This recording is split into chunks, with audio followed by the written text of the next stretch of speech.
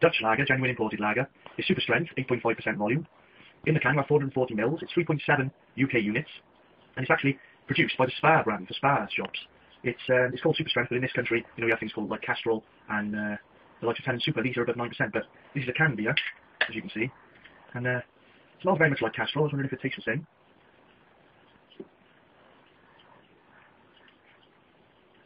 Quite nice taste for a lager with um, a high volume. Usually they don't contain as much taste as lagers with a lesser, a lesser alcohol level, as such as your Carlings. They're, they're nicer tasting beers, but this, this makes a good taste, and the Spar have done well here. I have to give this three stars. Um, not up to standard of, you know, the likes of the uh, Hoegaarden or the uh, Bohemian Black, but this is a very good beer. Kingfisher Premium Lager Beer. 12% it's a really nice bowl. 660 milliliters again. Also, as you can see, 4.8%. Bit stronger than Carling.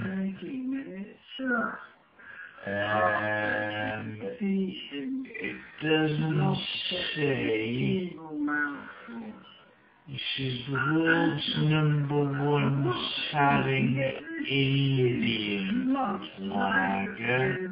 So this is not Indian lager. It's uh, produced in uh, Faversham which is in so it's produced in England. So you can call an Indian it's produced in England. Very strange. 2.1 per unit, 660 milliliters, Kingfisher Premium. Just like this flat, beautiful. Very hot smell.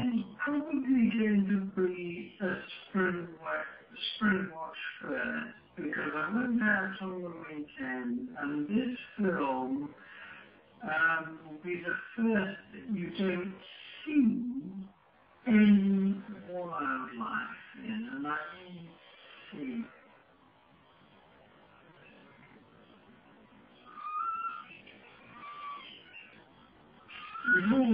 Surprisingly refreshing.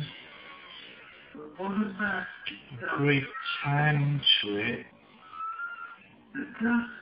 An after aroma uh, of like sort of cabbagey, vegetational sort of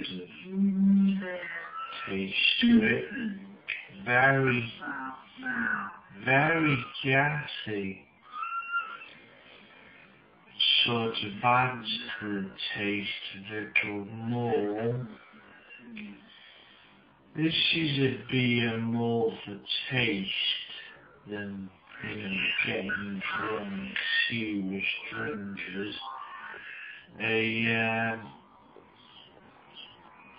good beer, but sadly I'm only going to have to give this three stars. Simply because of the strength and the amount of gas in it is more like an alcohol pop than a lager. But then again, still, still a good beer and enjoy. Electronic